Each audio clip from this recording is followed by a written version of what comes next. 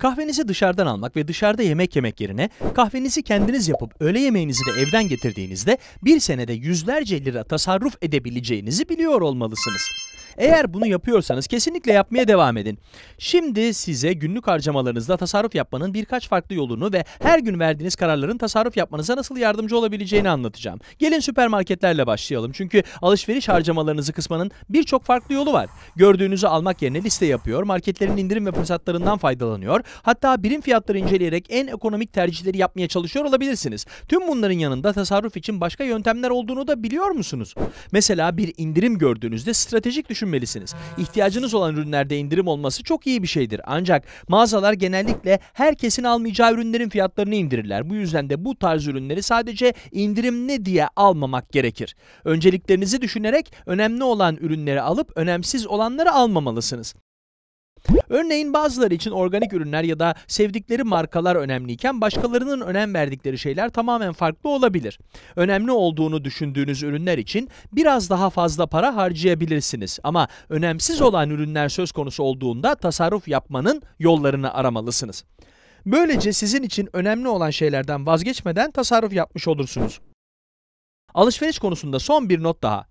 Alışveriş listenizi hazırlamadan önce yeme ve yemek pişirme alışkanlıklarınızı da göz önünde bulundurun. Neler pişireceğinizin planını önceden yapabilir veya kendinizi haftada bir akşam daha evde yemek konusunda zorlayabilirsiniz. Böylece fazladan alışveriş yapmamış olur ve yiyeceklerinizi bozulmadan tüketebilirsiniz veya az alışveriş yaptığınız için yemek siparişi vermek zorunda kalmazsınız. Bu şekilde her sene yüzlerce lira tasarruf sağlayabilirsiniz. Sırada ev için yaptığınız harcamalar ve faturalar var. Odadan çıkarken ışıkları kapatıyor ve kullanmadığınız aletlerin fişten çekiyorsunuz değil mi? Bunlara ek olarak yapacağınız ufak değişikliklerle tasarruflarınızı arttırabilirsiniz. Örneğin elektrik kullanımının günün farklı saatlerinde farklı fiyatlarda faturalandırıldığını biliyor musunuz? Hemen hemen herkesin elektrik kullandığı gün ortası saatlerinde elektrik sabahın erken saatleri ya da akşama göre daha pahalıdır. Çamaşır ve bulaşık makinelerinizi sabah ve akşam çalıştırarak elektriği daha uygun bir fiyattan kullanabilirsiniz. Elektriğin ne zaman daha pahalı, ne zaman daha ucuz olduğunu öğrenmek için internette küçük bir araştırma yapabilirsiniz. Sırada ulaşım konusu var. Benzin fiyatları oldukça yüksek ve artan trafik sorununu da göz önünde bulundurduğumuzda araba kullanmamak son derece iyi bir tercih olabilir. Çünkü biliyorsunuz benzin fiyatları gerçekten çok yüksek ve sürekli artıyor. Toplu taşımayı kullanmak veya işe gitmek için birkaç arkadaşınızla birlikte aynı arabayı kullanmak da yine önerilerimiz arasında.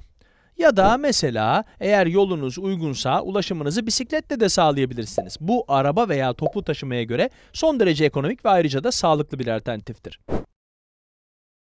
Diğer insanlara ayak uydurup fazla para harcamak son derece kolaydır. Ama ailenizle ve arkadaşlarınızla önceden plan yaparak plansız şekilde gelişen bir akşam yemeğinin önüne geçebilirsiniz.